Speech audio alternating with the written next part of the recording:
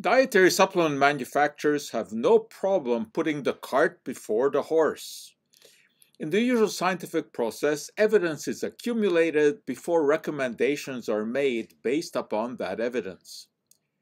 When it comes to dietary supplements, it is not uncommon to make claims based on the flimsiest of evidence.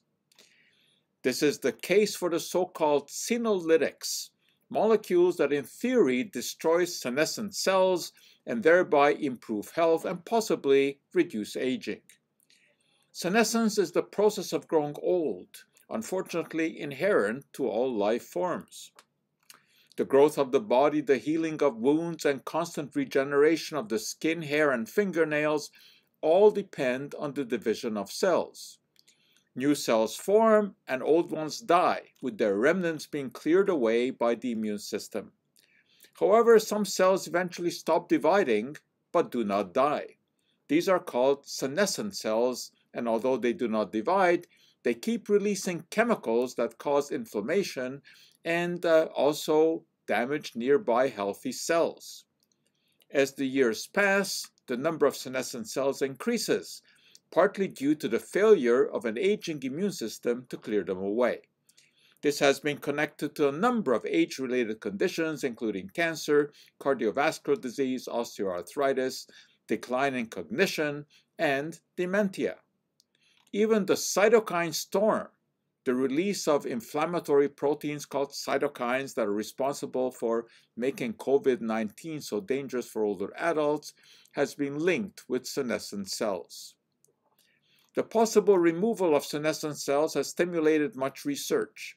Dr. Jim Kirkland of the Mayo Clinic has been a pioneer in such research and has found that a combination of the chemotherapeutic drug dasatinib with quercetin, a polyphenol found in many fruits and vegetables, can destroy senescent cells in mice.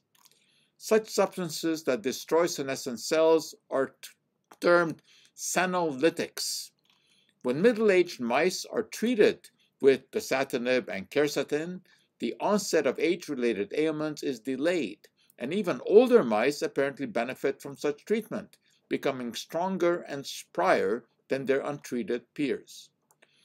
Fisetin, another polyphenol found in plants, has also been shown to destroy senescent cells in laboratory studies. All of this is very interesting, but as scientists are fond of saying, the body is not a large petri dish and we are not giant mice. There are no published clinical human trials that have documented the benefits of senolytics for the general population. Even if there is a benefit, the question of dosage has to be resolved. Furthermore, there is no clear evidence that senolytics do not affect healthy cells, which is a possibility depending on the dose. Such unknowns have not stopped supplement producers from promoting various senolytics as groundbreaking and as a potential fountain of youth. Senolytics may in time turn out to be really age-reducing substances, but that time has not yet come. In the meantime, let's keep emphasizing the health benefits of fruits and vegetables for which there is ample evidence. Indeed, it may well be that these benefits are linked to their content of senolytics. That for today is our Cup of Joe.